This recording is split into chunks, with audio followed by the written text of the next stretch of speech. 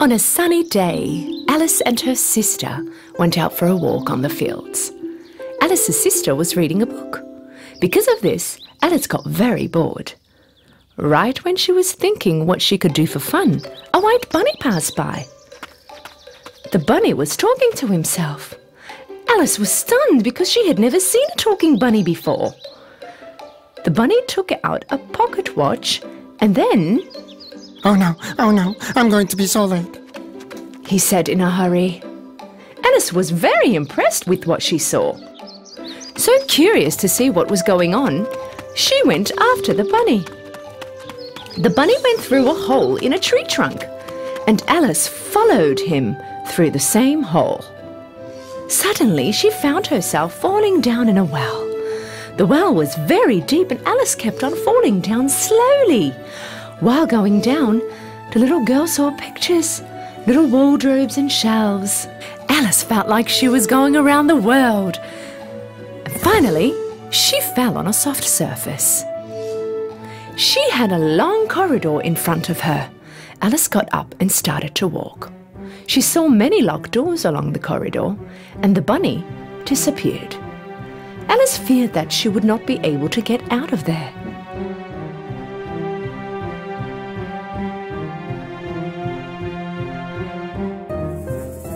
Right at that moment, she saw a little golden key on a three legged small table next to her.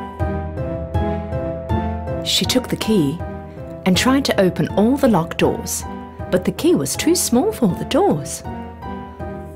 Looking around sadly, Alice realized that there was another small door behind the curtain. When she put the key in the lock, the door opened immediately. Alice was very happy when the door opened. Behind the door, there was a very beautiful garden. But because she could not fit through the door, Alice could not go out. When she returned to the table inside, she noticed a bottle with a label saying, Drink me on it. Alice took the bottle and started drinking.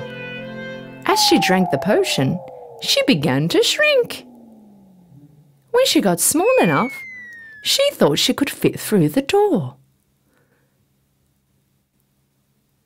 But when she got back to the key, she realized that she had gotten too small to reach the table. She started to cry. At that moment, she saw a cake on the floor. The cake had a label saying, Eat me. With curiosity, Alice took a bite from the cake. At that moment, she started to grow again. Now she could get the key, but was too big to go through the door. Alice was too tired. With no hope, she started to cry again. The tears running from her eyes started to form a big puddle that reached the end of the corridor.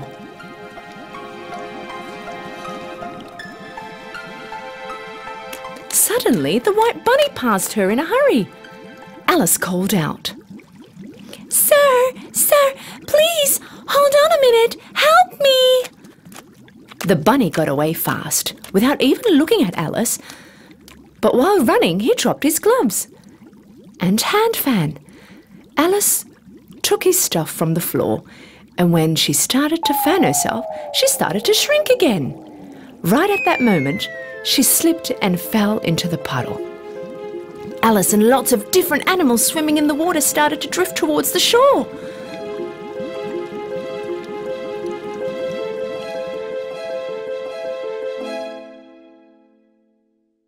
When they reached the shore, they were all wet, and Alice saw the bunny again. This time the bunny thought she was his maid and asked her to bring his gloves and hand fan from his house. Alice went to the bunny's house in the forest.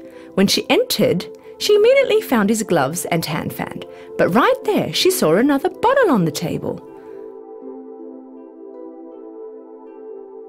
She reached to the bottle and thought, if I drink this, maybe I can go back to my normal size. She took the bottle and drank the whole potion. Instead, she became so huge she could not even move in the house. What am I going to do now? How will I get out of here? In the meantime, the bunny was waiting for Alice impatiently. Fearing from Alice, the animals started to throw rocks into the house, breaking windows.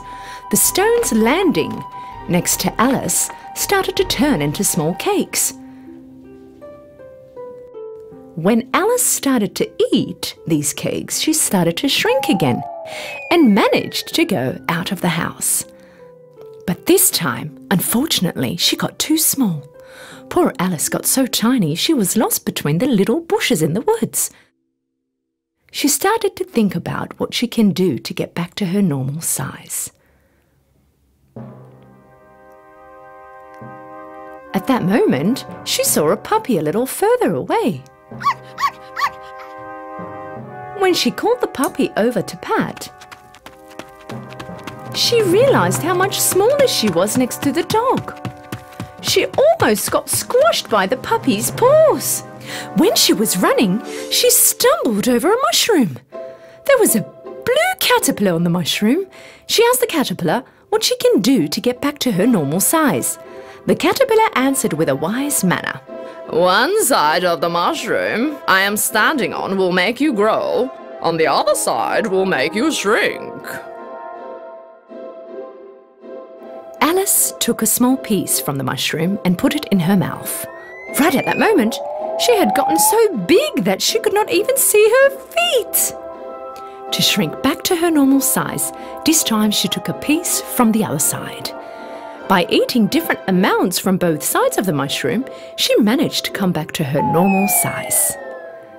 She took two pieces from each side and held them in her hand. While she was walking, she came across a tiny house. But to be able to get in, she had to shrink again. Eating the mushroom pieces, she started to shrink again. When she entered the house, Alice found herself in a kitchen. Right in the middle of the kitchen, there was a duchess standing with a baby in her arms. And on the floor, a fat cat was looking at Alice, smiling. It was the first time Alice saw a smiling cat. So she asked, curiously, Why does your cat smile like that?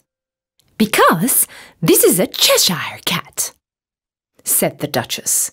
At the same time, the cat became invisible and the baby in the Duchess' arms started to cry. The Duchess passed the baby over to Alice. You rock the baby and stop her crying. I will go and play croquet with the Queen. Alice took the baby and started to rock. Suddenly, the Cheshire Cat appeared. Again and smiling again, he talked to Alice. You need to find the Mad Hatter and the March Hare. but be careful, they're both crazy. right after their little chat, the Cheshire Cat disappeared again. Alice angrily yelled at the cat. Stop disappearing and reappearing again! You're freaking me out! Cheshire Cat appeared once again, smiling. Okay, then I will disappear slowly. Starting from his tail, Cheshire Cat started to disappear again. Only his face remained. Alice went out of the house, and in a short while she found the March Hare's house. March Hare was having tea with the Mad Hatter under a tree. March Hare put some hay between his ears. Alice could not understand why he put hay between his ears. And the Mad Hatter had a hat on his head. The mouse between them had rested his head on the table sleeping and they both had their arms on the mouse, using him as a pillow. When they saw Alice coming, they opposed, saying that there was no space available. No, there's plenty of room, said Alice. Mad Hatter asked Alice. Why do you think the crow looks like a desk? Why do you think? I don't know. Alice got really bored of these stupid and rude jokes of the Mad Hatter and March Hare. She said, This was the stupidest meeting I have been to, and went away. Alice noticed a door in the trunk of a tree. When she entered, she found a golden key. The golden key opened the door to a beautiful garden. Entering the garden, Alice was very surprised. The gardeners of the Queen of the Hearts were painting all the white roses to red, and all the men looked like playing cards. So Alice asked, I'm curious, why are you painting all the white roses red? So the gardener answered, The queen wanted red roses, but we accidentally grew white roses. If the queen finds out, she will chop our heads off. Right at that moment, the Queen of Hearts came to the garden. The soldiers next to her were all in the shape of playing cards. Queen of Hearts invited this strange girl she saw for the first time to play croquet.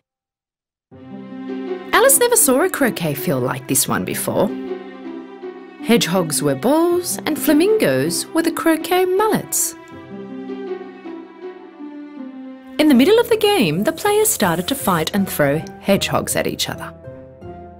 The Queen was very upset with this situation. She suddenly stomped her foot on the floor and yelled with anger. Chop off the heads of all the players who fight!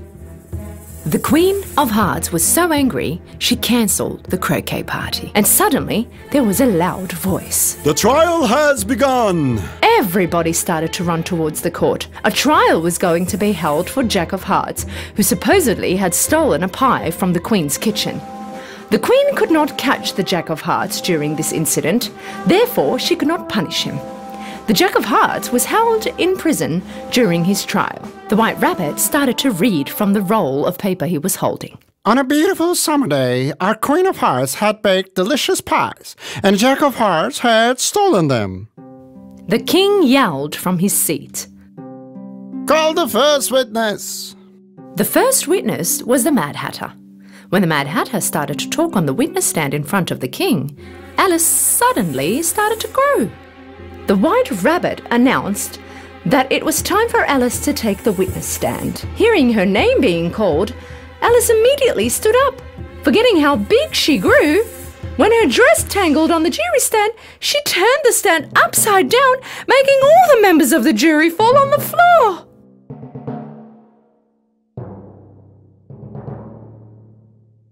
The Queen asked Alice to tell everything she knows. I don't know anything, Alice answered. The Queen yelled, furiously. You don't? Chop her head off too! And Alice answered bravely, I don't care about your orders. You are not my queen, and so you can't do anything to me. As soon as Alice said these words, the king, queen, and all the playing cards started to fly towards Alice. Screaming away, Alice tried to catch them. All the commotion became a big whirlpool of cards around Alice, sucking her inside and flying her up. And finally, with the leaves flying all around her, she found herself on the field again. Her sister called out, Alice, come on now, wake up. When Alice woke up, she realized that everything was a dream. Oh, wow! It was all a dream, and what an amazing dream it was! Hey, sis, let me tell you about my dream. You know, a white rabbit. Once upon a time, there lived a very rich man. He had three daughters. Two of them were really greedy and self centered girls, but the third one had a heart full of love and kindness. One day, their dad received the news that his ships had sunk due to the storm. Poor man had lost everything and was left with only his little house in the village. The two greedy sisters were, of course, not pleased with this situation. All day long, all they were doing was sitting around and complaining. All the housework was left to Beauty.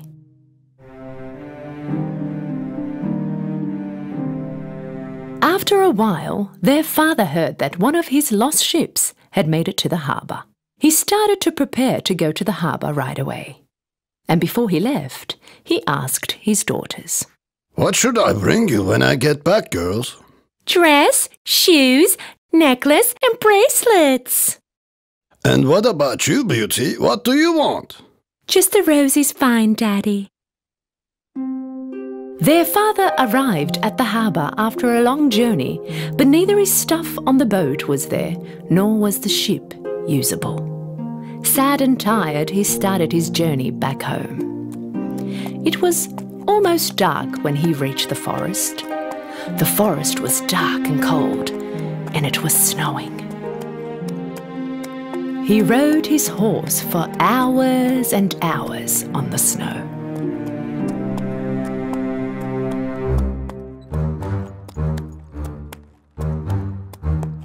Finally, he saw a castle with the lights on.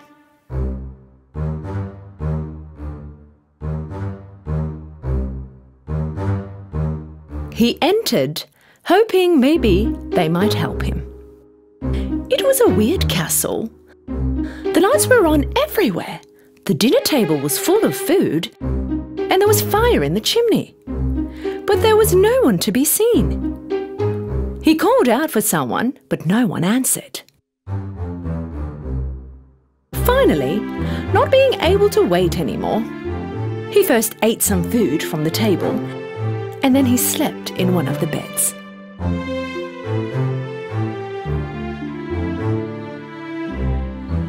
When he woke up in the morning, he found some new clothes next to the bed.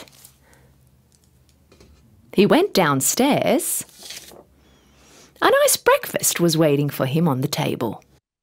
This castle should belong to a fairy, or she wouldn't help me like this. I wish I could thank her.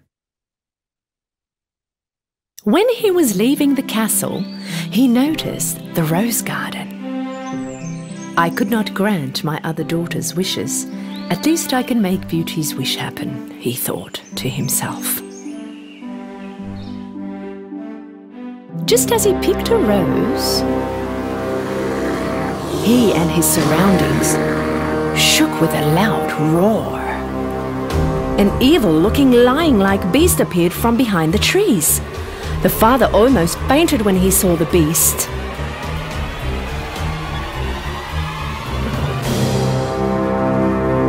I saved your life.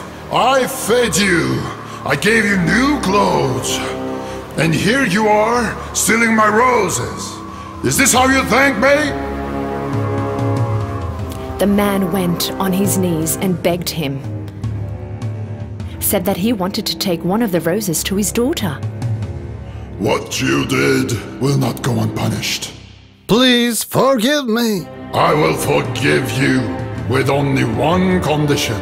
Talk to your daughters. If one of them agrees to live here with me, I will grant your life. The man jumped on his horse and sadly head home. When at home, the two greedy sisters listened to the horrific story their dad went through, but did not even hear the beast's proposal. But Beauty did not behave like her sisters. Daddy, if you allow me, I accept to go next to the beast. The two sisters immediately accepted her proposal because they thought that everything that happened was her fault. Sad and hopeless, her father took Beauty and head to the castle. When they arrived, everything was like before. The food was on the table and there was no one around. Just as they sat down and started to eat, the beast came out. Beauty started to shake out of fear. Because the beast was as scary as her father had told her, Beast asked with a soft voice. Did you come here with your own will? Um, yes. Then in the morning, your father will go away and never come back. When she woke up in the morning, Beauty knew that her father was gone, and she found a nice breakfast waiting for her on the table. She wandered around in the garden for a while. She felt sad when she looked at the roses. Then she went around in the castle. One of the doors was full of roses. She wondered